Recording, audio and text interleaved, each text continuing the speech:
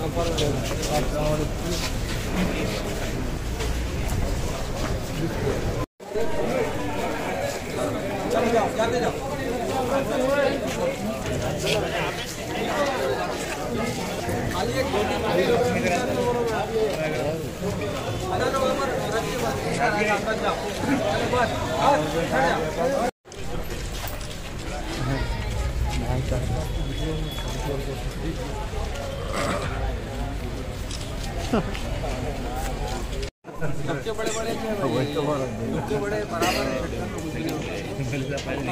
बराबर Chandulal Baradari sports complex के अंदर सैनिटेशन जीएचएमसी के तरफ़ से 72 गार्बेज के रिक्शास बहादुरपुरा कॉन्सेंसी को अलर्ट किए गए थे और हर डिवीज़न को हम 12-12 रक्शे दिए हैं।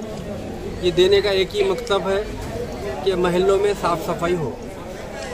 अल्हम्दुलिल्लाह मजलिस मुसलमिन ना सिर्फ़ इस गारबेज के हद तक महदूद है मजलिस मुसलमिन हर काम जितना हो सके महल्ले के और डिवीज़नों के और कॉन्सेंसी के डेवलपमेंट के काम के लिए कर रही है।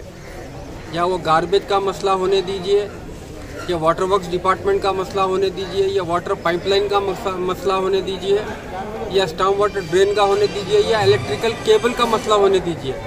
जो भी मसाइल आते हैं कॉन्सेंसी के अंदर मजलिस इतिहादलमसलमिन उस मसाइल को दूर करने की कोशिश कर रहे हैं। हमारा मतलब हमारा मकसद एक ही है कि हम हमारे कॉन्सेंसी को किस तरीके से डेवलप करें।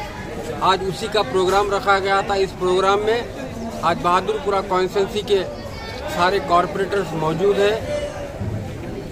और ये प्रोग्राम का आज यहाँ पर इस Bahadurpura Chandulal Baradari sports complex Salari Millat sports complex में इनाग्रेशन किया गया है। और भी प्रोग्राम होंगे इन ताला आपके दरमियान में फिर आकर और मसाइल जो बहादुरपुरा कॉन्सेंसी में उसको दूर करने की कोशिश मंजिल मुसलमिन हमेशा करती है और करती रहेगी।